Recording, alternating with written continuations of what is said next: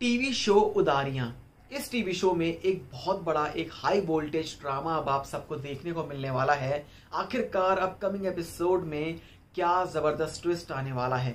सबसे पहले आपको बताते हैं तेजो, जो कि जैस्मिन और फतेह को अब सबक सिखाना चाहती है और अब तेजो को उसी के घर से बाहर निकलवा देगी। जी हाँ सबसे पहले आपको बताते हैं जैस्मिन और फतेह को चकमा देने के लिए वो एक ऐसी जगह पर छुप जाती है एक ऐसी जगह से वो मिसिंग हो जाती है, उसके हाथ में गन होती है, जिसके बाद फतेह जो कि पूरी रात तेजो को ढूंढता है और उसे लगता है कि तेजो जो की है, वो खो गई है, वो मिसिंग हो गई है और इस बात को लेकर फतेह जो कि परेशान हो जाता है। वहीं जैस्मिन जिसे फ़र्क नहीं पड़ता कि तेजो कहाँ पर चली गई है, वो फतेह को कहती है, तेजो तो गई, अब हम चलते हैं कनाडा।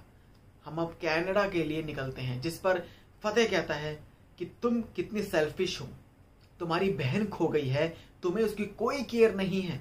जैस्मिन की इस सेल्फिश साइड को देखकर फतेह जो कि शॉक्ड हो जाता है और जैस्मिन को वहाँ छोड़कर चला आता है। वहीं जैस्मिन जो कि सोचती रहती है कि आखिरकार तेजो कहाँ खो गई, कहाँ खो गई, जैसे ही वो घर पे पहुँचती है, वहीं उनके फैमिली मेंबर्स के साथ तेजो खड़ी होती है। और ये सब देखने के बाद जैस्मिन जो कि शिवर करना शुरू कर देती है, कांपना शुरू कर देती है काफ़ी ज़्यादा। और आपको बता दें, जैस्मिन की सच्चाई जो कि उनके फैमिली मेंबर्स को पता चल चुकी है। उनके फैमिली मेंबर्स को पता चल जाएगी, तेजो जो कि सारी सच्चाई का खुलासा कर देगी।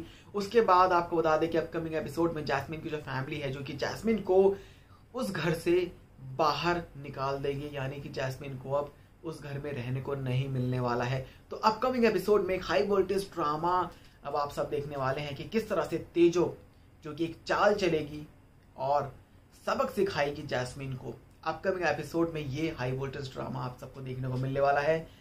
कैसा लगा आपको हमें कमेंट सेक्शन में ज़रूर बताएँ। चैनल को सब्सक्राइब कर लें ऐसी अपडेट्स के लिए।